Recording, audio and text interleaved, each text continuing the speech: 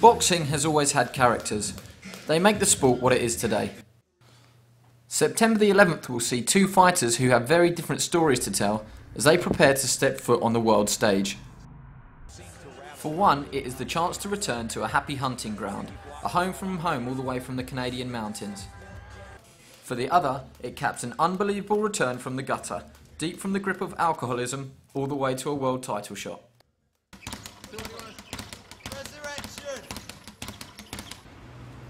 We follow both fighters as they go through the final eight days before the fight. This is Molitor Booth, Inside Out. Say hello.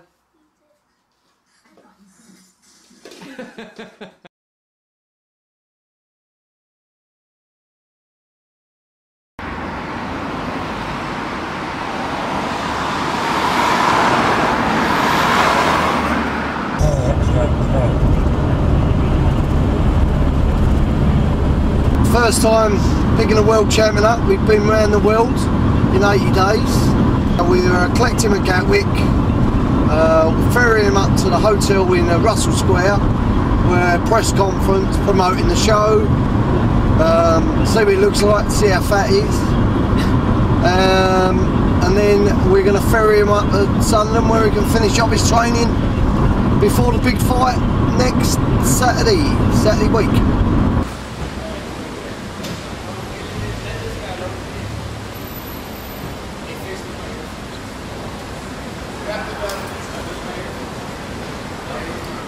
Right, chaps, okay, all right.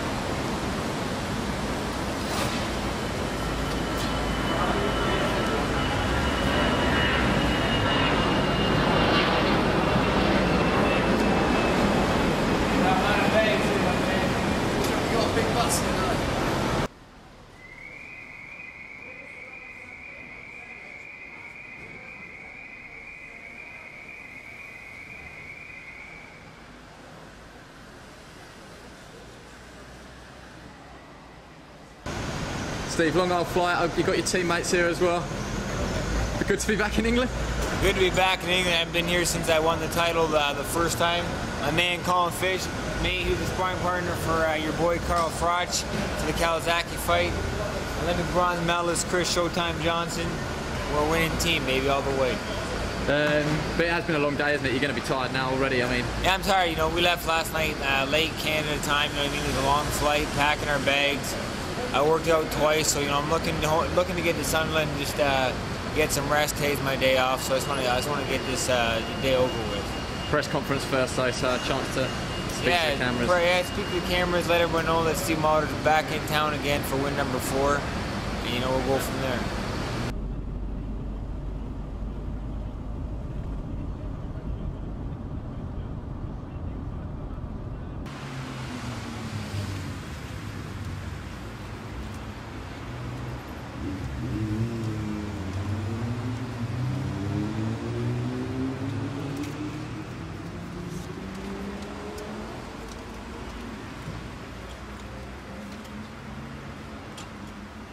It's in here. Layla Jensen. It's in here. A Layla Jit- Oh, upstairs. Oh, she's For, the, for that um, suitcase. Yeah. Yeah, I'll go and sort it in a minute. I'll tell someone to go and do it for me. Come on, man.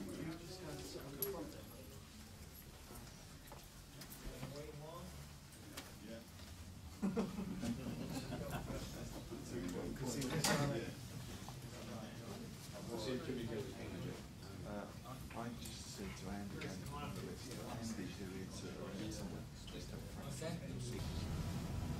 A lot of talk in Britain in, in boxing media says you're you're past yourself. And that's you know that's great. You know, hopefully that you, you know Jason Booth thinks that September 11th, and it make me could make my night even easier. But you know what I mean.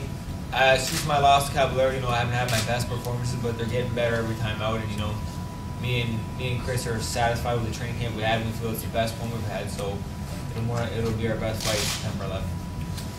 That's it. I don't think he's past his best. I reckon because he's older than I, he's be a different Steve Martin than his other fights. You know what I mean? And um, if he's past his best, what does that make me? Chris, uh, Steve said you've looked at um, hours and hours of footage. What is it that you look for when you study a fighter? Is it have you always studied every opponent, or Me personally, in my career, no, but um, uh, when I'm training somebody, I don't jeopardize their career, so I do study. Um, we see that uh, Jason is a very quick fighter, likes to throw uh, quick flurries. He loves the left hook to the body, but that will never touch us. So I don't know how Jason's gonna beat us. I mean, I tried to go through every aspect and see how he's how he has a chance, but he's in there against a giant. I mean, we've done everything we had to do. We, we run, we hit the bag, we did everything we had to do. And Steve is a consummate professional. Sometimes I have to pull him away from working out. And uh, he's just ready. So Tony, you've got no chance. we've got every chance, you know, because we've done the same thing. We've grounded out the hard work, and now we're on the speed, and that's it. Incidentally, we could have had this fight in our hometown, frank opposite it, but we didn't want it in our hometown.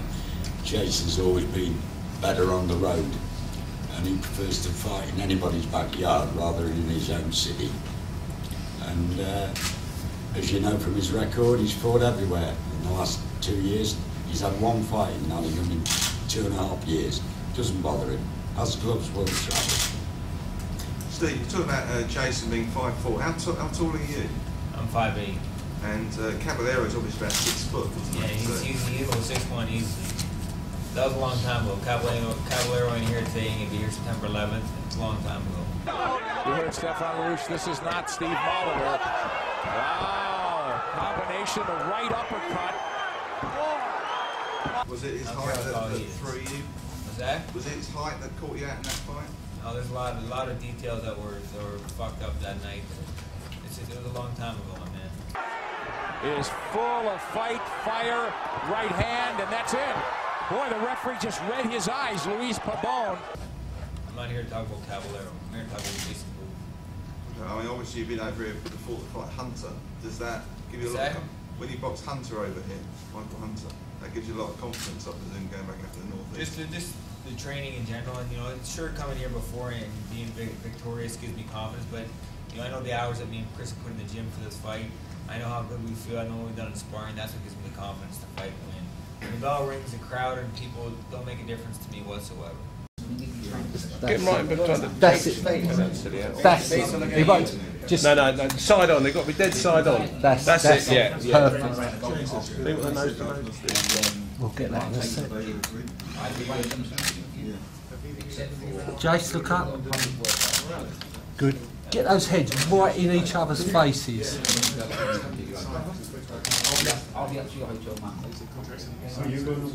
Lovely. You happy with that? Nose to Right close. No, you're gonna have to, I think. Get in real tight. I want to come right tight on the head. All right. onto this, yeah?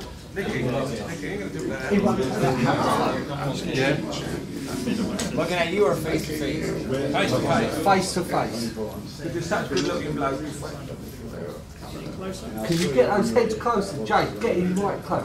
Can you, Steve? You, could you flip the hat around?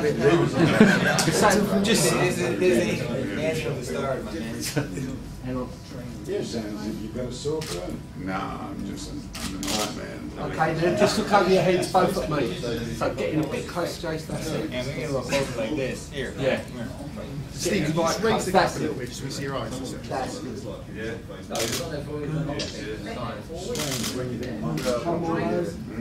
I'm done. Cheers, chaps. Thank you very much. We come to pick a fight, we picked it. Does it, does anything get under your skin like, um, you know, I don't feel it. you haven't got a chance It's not as big, No, no, no, no. not as big as I thought it would be. You know, like watching him on TV and being face to face with him. No, yeah, it'll be alright. Nothing that nothing they can say that can worry you guys? Oh yeah, no, hell, they're fine, don't they? My mum scares me more than he does. Your mum's not fighting you. Stop upsetting me. Your mum's not fighting you. Don't If upset it's me. not in good condition, I will jump all over your head. It's all right, yeah, I'll put it there, but jump on it. plenty of time. No, believe me, Look, he's on the way now. I'm Yeah. not, he might be, I'm not worried about the weight. I'm just hoping that he's mentally right and 100% right, 110% right. Don't worry. This is his big moment. He's hoping you're mentally right. I'm never mentally right. That's the problem. I'm never mentally right. We haven't met Jeff Powder. Thanks very much, Frank. Good luck with Thanks that. very much. Thanks very much. Definitely. Um, I'm feeling it. I'm feeling good, and I think um, we're going to come out victorious. Do you feel um, better now you've seen him? Does it make a difference? Uh, no, no, no, no. No, because in the in the, the gym, you know, we we basically got that person in there thinking about him all the time.